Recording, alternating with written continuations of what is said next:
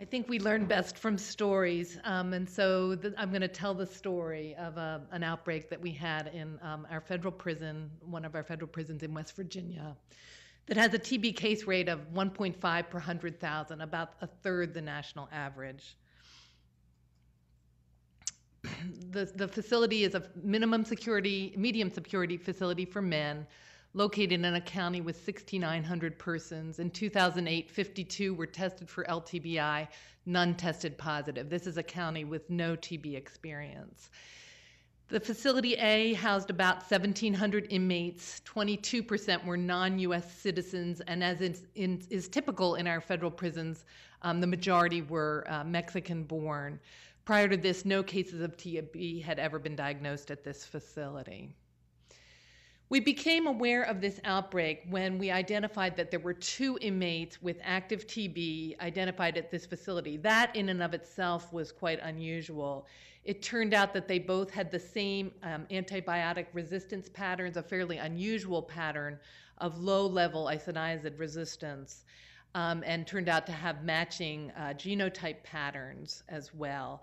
We later learned that this genotype pattern, the MIRO2, was extremely unusual, and only 12 um, individuals had um, that, that pattern in the, in the country.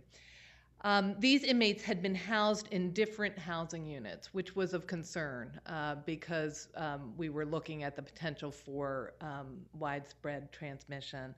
As a result, we sent in a team of investigators to conduct an on site investigation. And when we found multiple related cases of TB, we ended up asking for the Centers for Disease Control to provide an epi aid to support us. The role that we played in the central office in this investigation is analogous to the role that you in public health are called on to support your local jail and your state prison when dealing with a, a TB case, particularly one um, where um, widespread transmission is suspected. In general, correctional facilities just do not have the expertise to uh, stage and construct and develop plans for a contact investigation. So your your help is needed in terms of directing and supporting the investigation. But also correctional facilities in general are stretched thin from a health services perspective and often um, are not going to have the staffing that's necessary to do an intensive um, investigation. And finally, data management, which is really quite challenging when you've got hundreds of inmates, many of whom have moved on, and TB data collection is inherently challenging because it's so longitudinal, with multiple points in time having to collect data and keep track of it. And so, again, public health support with data management is really important. I'm going to run through this investigation in terms of the contact investigation steps that you would utilize with a case in your in one of your facilities. Um, first, obtaining the source case in, inmate traffic history. Where were they? Did they take classes? Were they involved in work? Um, and then uh, a chart review, interview of the source patient, defining the infectious period, when was this patient potentially infectious, and touring the exposure sites. So let's take a look at what we learned about this inmate's traffic history. he um, was immediately apprehended after crossing the border by ICE in California in September of 2008. After spending time in an ICE contracted local jail in California, he was transferred to United States Marshal Service custody, another federal agency, to um, be housed in an Arizona private prison that the Marshal Services contracts for beds. The inmate spent the next five months in that facility. Then, briefly, the inmate was what we call in transit with the Marshal Service in custody in a local jail in Oklahoma and then finally ended up in the custody of the Federal Bureau of Prisons in our Facility A in West Virginia. We learned through inmate records that this inmate had not had any employment in the facility. He did not have any uh, schooling, but this is often something that we would be looking at um, in an investigation of this nature. So let's take a quick look at the chart review. Um, the intake to Facility A has a completely negative TB symptom screen. This was a false negative TB symptom screen, and I think is an example of what we found in our study um, in the pretrial facility that either these questions weren't asked or they were asked in English and the inmates spoke only Spanish. Um, we don't know exactly what happened, but in fact, this was not an accurate screen.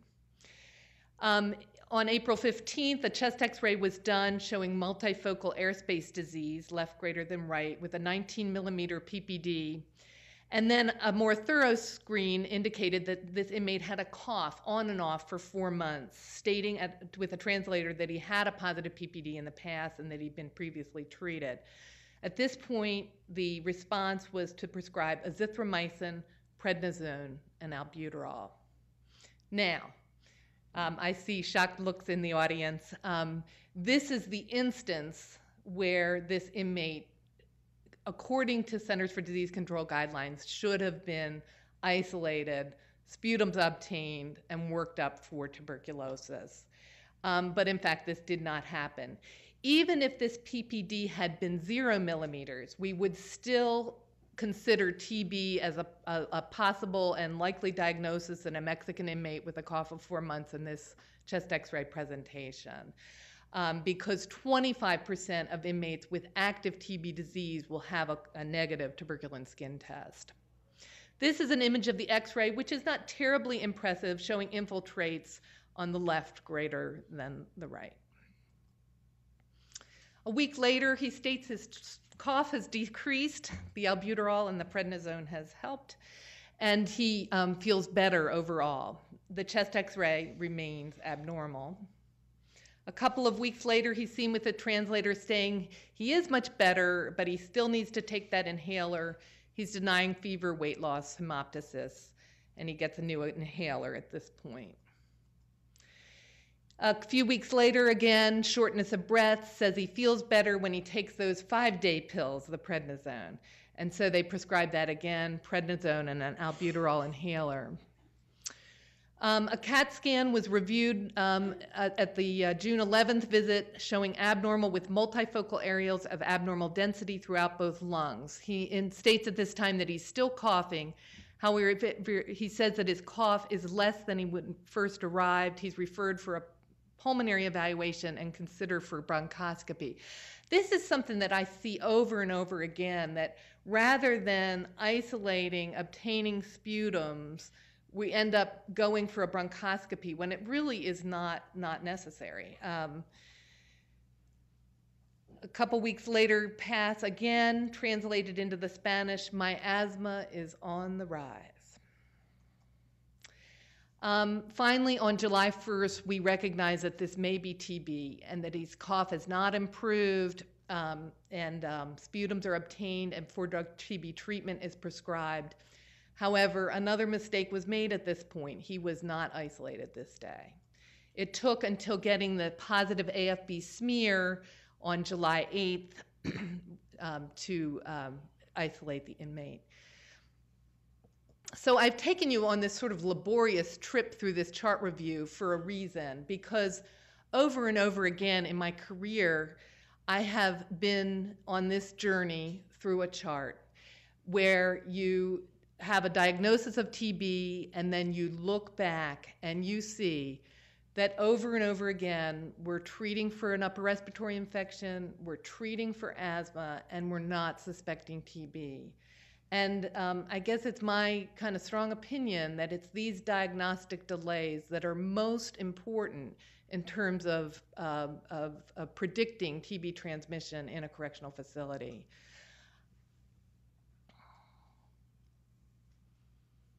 The next thing in um, terms of the contact investigation steps, a critical step that I often see is uh, not performed is the in inmate interview.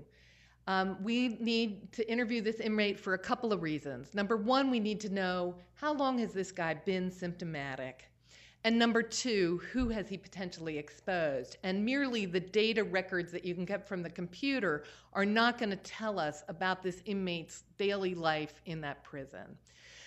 Um, on interview, we learned that this inmate was coughing and a new symptom that had not been described before um, that he was hoarse since November 2008 when he entered the Arizona facility.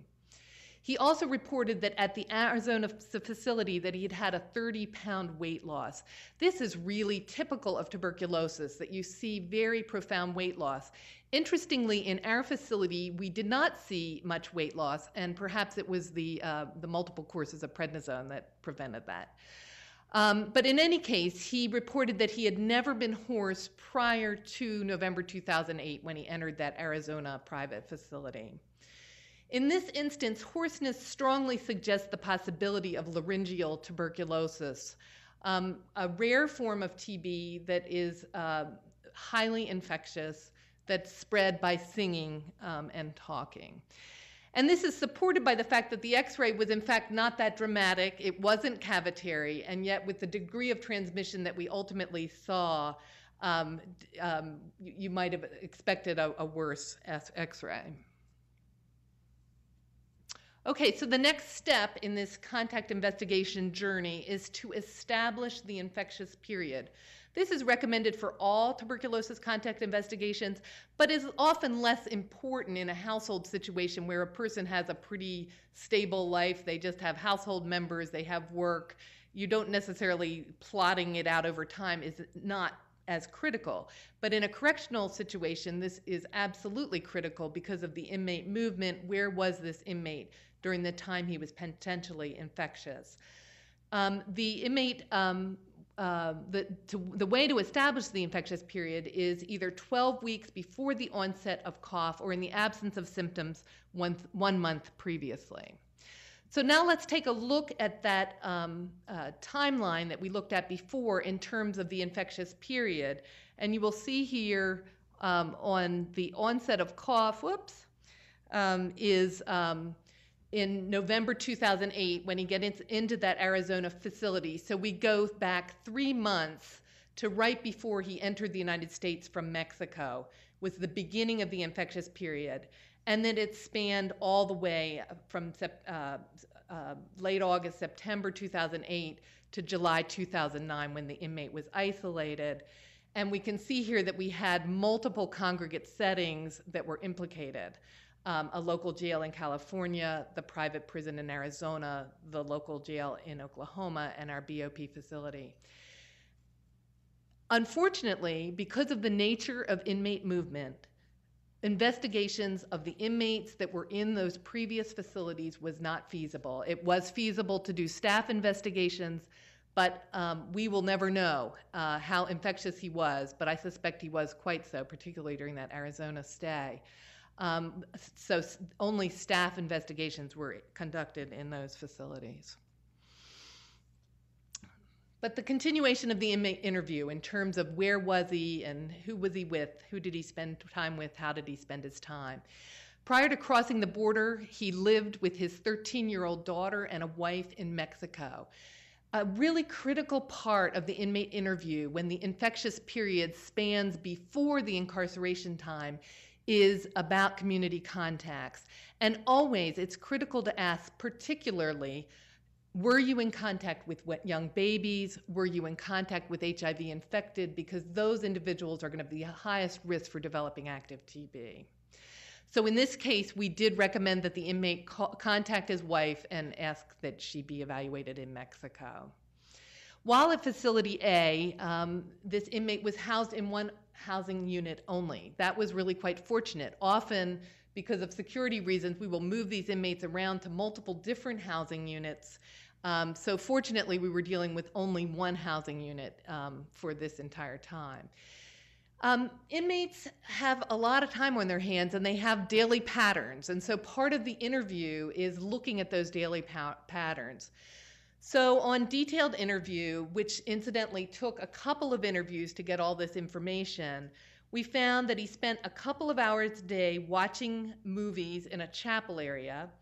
He spent about an hour per day in a music room where you could get headphones and listen to music. And we learned that in that music room, everybody was singing this cacophony of songs. So you'd have all these inmates singing at once in multiple languages and um, it was it's it's quite a quite a scene. And then he also attended a weekly Jehovah's Witness meeting for about an hour a week. The inmate reported no close friends, um, and um, often inmates are unwilling to reveal uh, the names of close friends when, when you do interviews in prison.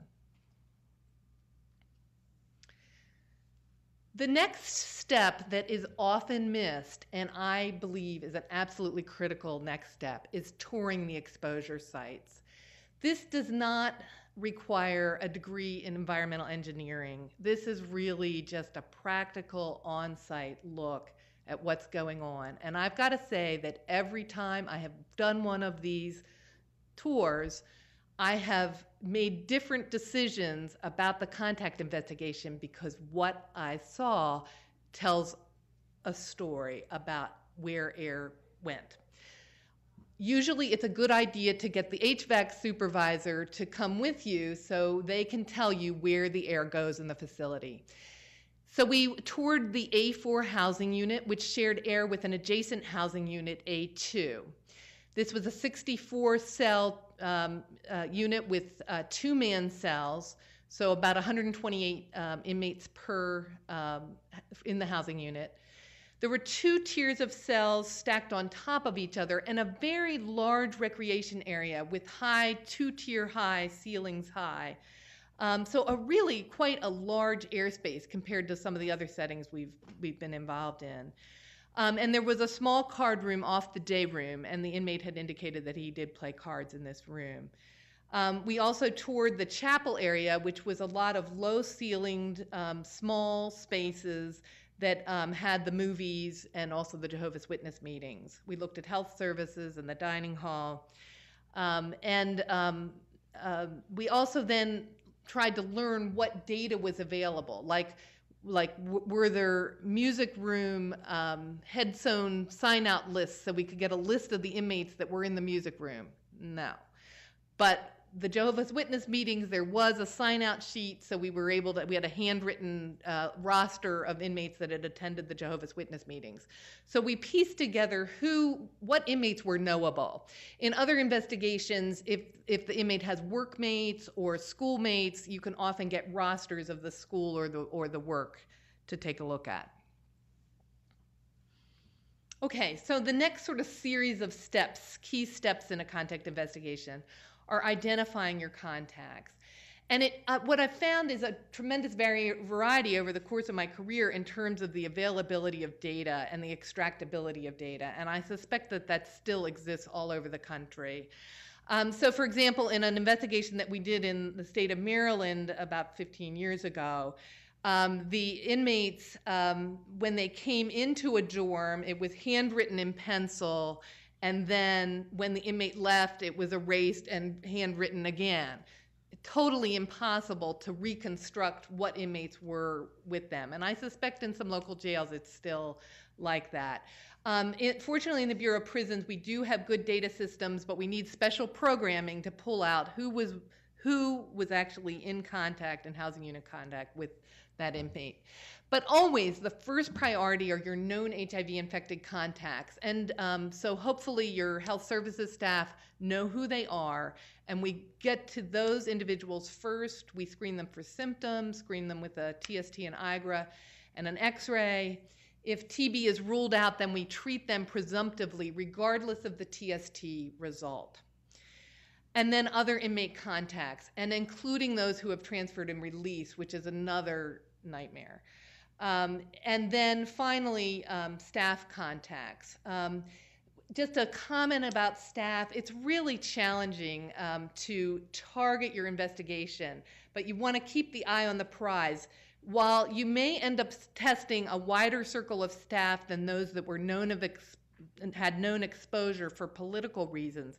You want to keep a list of the contacts that we know were exposed and be sure that we test them at baseline and again um, at, at 10 to 12 weeks. In terms of the medical evaluation, as I said, so it's the symptom screen, TST or IGRA, and if positive, obtain a chest x ray. And a step that I repeatedly see missed is HIV testing of contacts. Um, this is a really important thing to do. Um, and it's been borne out where um, in, in the MDR-TB investigation, the one related case uh, was an inmate who we identified by uh, universally HIV testing the contacts, um, and um, he was the one person that did develop um, drug-resistant tuberculosis. The next step is calculate your infection rates, and you're looking at that by group. So, in terms of your housing, and then you often will separate your foreign born from your US born and look at those rates separately. Then looking at the rates with the school, the, the, um, uh, the work, um, the music room, et cetera. And then treating your infected contacts. And in this case, we treated with rifampin for four months because of the underlying isoniazid resistance. A brief look at the results, and um, this got far more complicated than I'm going to present here today, but in the interest of time, I'm just going to focus on case one primarily.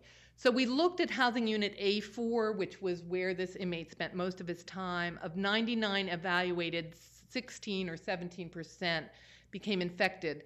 This is a high rate, particularly given that this was a huge airspace that they shared. Interestingly, A2, which was that adjacent housing unit, had a very low conversion rate. So clearly, the transmission through the airways was not a significant thing. We also looked at the housing unit of that second related case that was identified through DNA fingerprinting, and only one of 80 of those were um, had documented TST conversions. And finally, the religious group, spending about an hour a week, had a 6% um, conversion rate.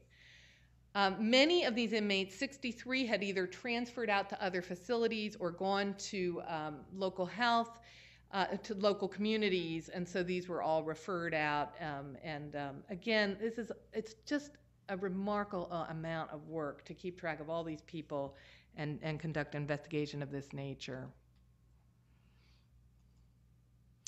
Um, and typically, we don't see staff conversions. This investigation was a little bit unusual in that we did see two conversions among healthcare workers who had one on one close contact. Typically, in a prison or jail setting, staff is not up close and personal with inmates for prolonged periods of time. And so, um, uh, it was not surprising that if we were going to see conversions, it would be with the healthcare workers who were in close contact with this inmate. A total of eight related cases were identified, including three culture confirmed cases and five probable cases who had abnormal x rays consistent with TB and negative cultures. And just, just a little sense of the social links that went on here. So, um, four cases were identified in that A4 housing unit. And the inmate with laryngeal tuberculosis, suspected laryngeal tuberculosis, spent a lot of time in that music room, as did um, another one of those housing unit contacts. Also, the inmate with the matching DNA fingerprint spent a lot of time in the music room, the presumed link um, to for that case. There was another link that was identified through annual testing on an inmate um, who turned out to be a good friend, um, an associate from DC who'd hung out together in the in, in, the prison setting and done walks together daily. So it was presumed that case three infected case five. And then we had cases um, in um, two other housing units. Again, these individuals were test, uh, identified through annual testing and not as part of the contact investigation, which suggested that there was spread that went beyond the housing unit that was really not determinable uh, unless you were to test the whole facility. And for a brief, a fleeting moment, we considered that possibility because there was clearly transmission had occurred and we couldn't identify all contacts. But that is not a good idea to, to do that widespread testing for a number of reasons. Number one, um, you end up with garbage results, a lot of boosting on tuberculin skin testing that are going to be considered conversions, but in fact, they probably are just boosts of previous infection. And also, it dilutes the focus. The number one important thing for this prison at this time of true crisis was to treat these cases with their active TB. That was the number one thing. They needed to focus on that. They needed to focus on treating the infected contacts. If we had spread to the 1,700 inmates, it, it just would have been completely diluted the focus. So instead, our plan was with annual testing that we would treat people with TST conversions with that rifampin prophylaxis because of the underlying INH resistance in that source case. And we did symptom screening for the next year on inmates that were leaving. So diagnostic delay was critical here. And one thing that I'm finding um, across the country is issues related to radiologic interpretation. That frequently the radiology reports do not mention TB in the differential diagnosis. And in this era when practitioners have a limited experience with TB, um, they may not suspect TB in a, in a, with pneumonia. In another transmission situation recently, that we had in another prison. Um, the physician was, you know, the patient had pneumonia, um, and even though they'd had a three-month history of cough in, in this situation, did not know to think TB. And so um, we've got a lot of, of, of, effort that needs to be taken to get that basic word out. To think TB, the CDC uh, poster says. And then if a cough is occurring for greater than two to three weeks, obtain an x ray. And the next step is if that's abnormal, especially pneumonia, infiltrates, consolidation, cavitation, miliary findings, in the correctional setting, that needs to be presumed to, t- to be tuberculosis unless proven otherwise. The inmates need to be isolated and evaluated for treatment. A side note frequently TB patients do not appear ill. Most of those inmates with the culture negative TB in that outbreak um, were not ill, did not feel ill, but had evidence of TB. And also, just sort of a take home message often the weight loss is very dramatic and is one of the first things I look for when I hear about a TB case being diagnosed in one of our facilities. So now I'm going to turn it over to Dr. Kendig for new developments.